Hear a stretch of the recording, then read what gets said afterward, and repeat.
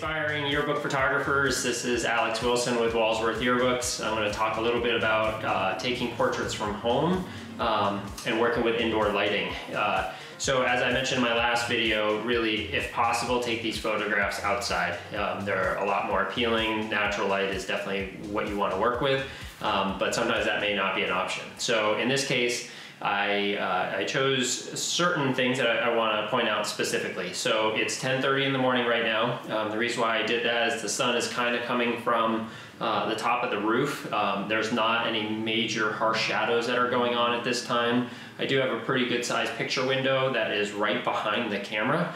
Um, and the light really is kind of coming in at my feet. Um, so you do want to be aware that if it was a little bit lower light, let's say 9 a.m., um, just the top of the, the windowsill uh, may, may make a weird line of light on my, on my chest here. So um, again, about 10.30, I'm making sure the light is down by my feet.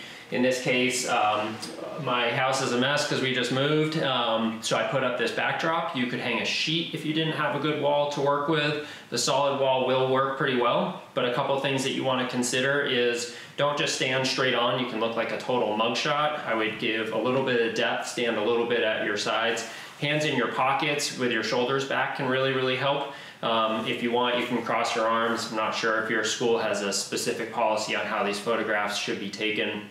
Uh, but try a different couple angles. So, you know, face one side, see if the light's a little bit different than facing the other. One thing I did do was I put a small little light over here on the side. Um, be careful, fluorescent lights can be really yellow and make uh, skin tones orange. They can be fixed afterwards in post-production, but for the most part, you really want to kind of make sure that um, obviously your skin tones are not orange. Uh, so, so work with that.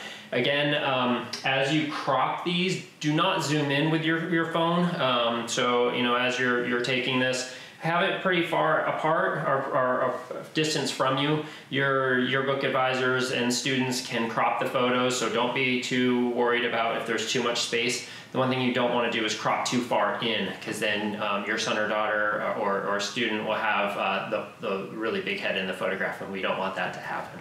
Um, so again, uh, just review uh, the window behind you. I think it's, it's better that way, uh, probably around 10 o'clock in the morning, maybe 2 o'clock, depending on which way the sun is facing. In this case, it's a, a south-facing uh, window behind you. Um, play around with different rooms, work with different backdrops, which I'll show you in a second, just so you can see the difference. And um, again, shoulders back, really trying to uh, work with your student, make sure that they are smiling, uh, make them laugh, because those are going to be the best ones. Um, take lots of photos. Do not decrease the resolution of the camera photo. Um, make sure that you share that on the highest, uh, highest priority. And with Walsworth, the easiest way to do it is via community upload by going to yearbookforever.com, or you can download the Yearbook Snap app. Um, and that looks like, oh, sorry, I went too far. Uh, the Snap app right on the top. Uh, you can download that and share that photo directly with the school um, advisor, and they'll go right in the yearbook. Just make sure you mark it as uh, portrait.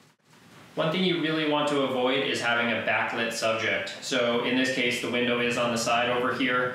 Um, so there's still pretty good light coming through. Again, it's a pretty large window, so I'm pretty fortunate that I have some natural light coming in, but I do have this light behind me. And your camera may or may not work well with that. Um, I'm gonna show you another example in a second, just a little bit off to the side, cropping that window out.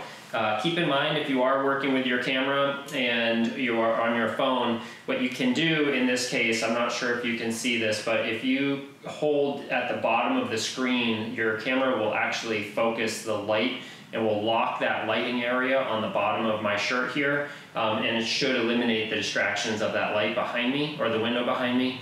It may make that window a little bit blown out, which could be a really cool effect, so play around. Um, and really with everything in photography, there's no perfect right answer for everything, unless you're doing a complete studio lighting job, um, then it's pretty, uh, pretty specific in calculations. Um, so play around and see what works best for you. And again, just the biggest piece is just making your students smile. I wanted to give you another option. Um, in this case, I'm not using the backdrop, uh, but you can see there's heating pipes behind me. So very quickly, if you're not paying enough attention, you might have a pole coming out of your, your student's head. So just be really careful with that option. Um, again, sometimes we just can't avoid these things. In this case, I do have the window um, on to the side, so it's a little bit darker over here in the room. Um, my camera may not uh, show that in this video, but um, again, I prefer the light coming from directly behind the photographer or the camera. Um, but in this case, you should be good. Uh, again, just use the same cropping um, uh, tips that I just gave you a second ago, and you should be all right. Um, but do try to find something in the backdrop that is the least busy. Um, and, and again, just try not to have things cut into people's heads. So I think this uh, this this piece of furniture behind me is right at my head level, um, so I might try to avoid that and adjust my camera angle or position my uh, subject a little bit differently. I talked about it a little bit before, but the lighting, um, when you do have the camera with the window behind you, you don't run into shadows. So you could see in the earlier video that as soon as I turn my face, it gets a little bit darker over here. So again, when that first video I had with the, the studio backdrop, you couldn't really see those shadows. So I think that worked out really well. Uh, most of you are taking photos with your cell phone, and there's a lot of different variations of cell phones to be used. I alluded to it a little bit before. Um, if you're working with an iPhone, um, there's some, some great features. One, just as I mentioned, do not zoom in. Anytime you're taking photography, get closer to your subject. So if you're a little bit too far away, don't zoom in with your, your fingers, don't use the little key commands on the bottom keep it like in the natural view of what you're working with and get closer to your student or son or daughter as you're taking that photograph. Um, if you are working with like an iPhone or your phone is uh, a little bit newer and you have some advanced settings, some of the portrait settings are really, really cool. You can pretend like you're in a studio lighting environment. You can work with natural light. Um, so going to the portrait mode, you can switch to the different uh, variations of what the, the camera will give for you.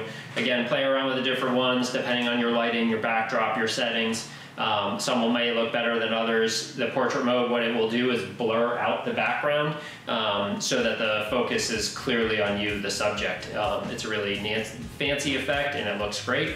Um, so yeah, I hope this helps and uh, have a great day.